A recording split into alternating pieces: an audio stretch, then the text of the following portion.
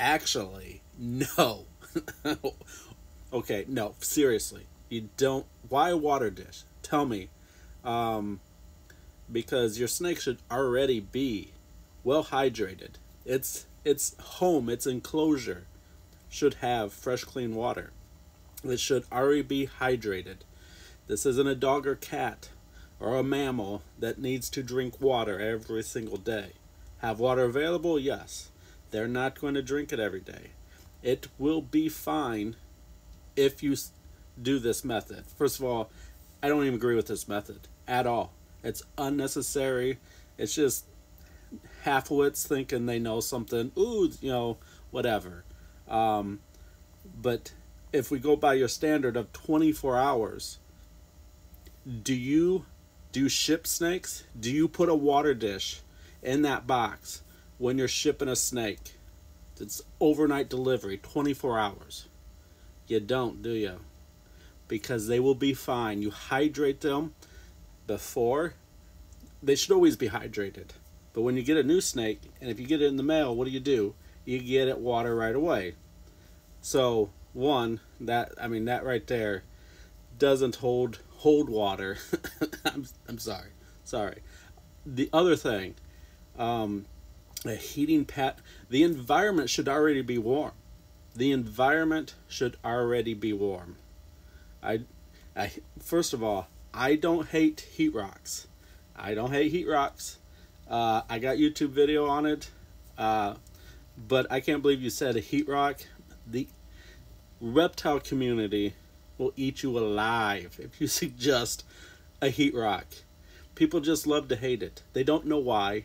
99% of them don't know why. And they'll give you some, yeah, it will overheat and burn your reptile. Every heating device we use can burn a reptile. It's just, it's dumb. But I digress. Kinda. So, no. I, I mean, yeah, the, the environment should be something warm. Uh, but a heating rock, probably not a good idea. Heating pad underneath um, would be better, I believe. But the environment should already be warm.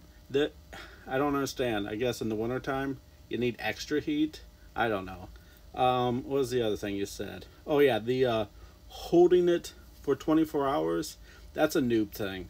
That's, that's for new people who are very new to snakes and don't understand uh, really how to read the animal.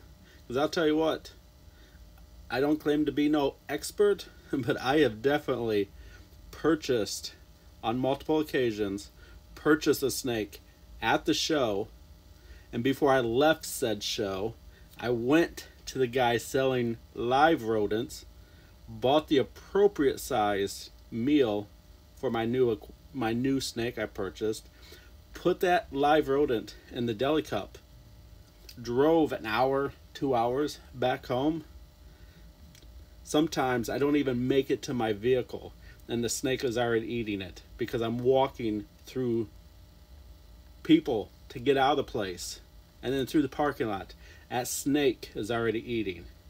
Do you think he cares that I don't hold him for 24 hours? Do you think he looks at his watch? Nah, so, now is that absolute? It is not absolute. There are certainly some snakes that, as an individual, um, are just too fearful. Too fearful. And yes, they will, they can, and it has happened, they will regurgitate too much handling. Absolutely. Is it an absolute law? Absolute rule? No. But if you're new to snakes, yeah, lean lean on that a bit you know, until you get real comfortable to where you can understand and read them and understand like, oh, this snake I can, this snake I can't. So, actually, you shouldn't.